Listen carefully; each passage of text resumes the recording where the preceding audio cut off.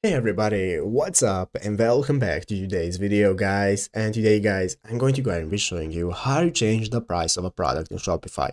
This is a very simple thing to do so make sure to watch this quick and easy video till the very end, follow my steps correctly so you can make sure this works the same for you and you can do this yourself.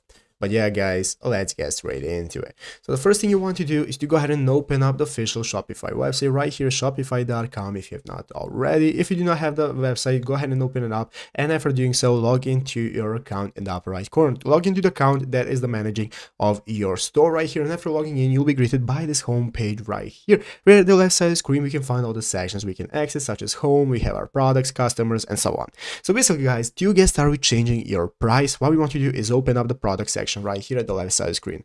After clicking on products, this is now going to open up a list of all the products that we have. We can even add new products right here if we want and so on. And what we want to do is click on the product we want to change the price for. So I'm going to tap on this product right here, this t-shirt that I have. And now this is going to go ahead and open up my product page where we can go ahead and manage it. So what we want to do is go ahead and scroll down all the way down until we find this section right here that says pricing. And under pricing, guys, we can find the price for our product. And now what we want to do to change it is just go ahead and enter in the new price that we want to use. And after you have entered in your new price, you want to go and scroll down and click the save button right here. And after saving it, it's going to automatically change the price for a product on your store.